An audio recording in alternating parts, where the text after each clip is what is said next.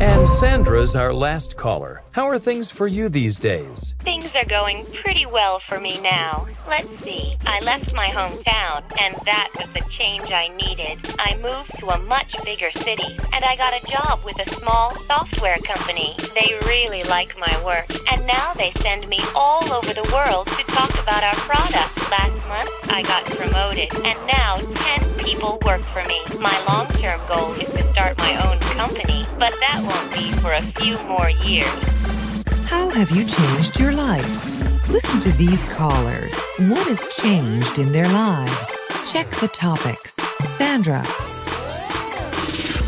Welcome to Speak to Me. I'm Phil Nelson. I've asked my listeners to call in and tell me what changes they've experienced lately. You're on the air. Tell me, how have you changed?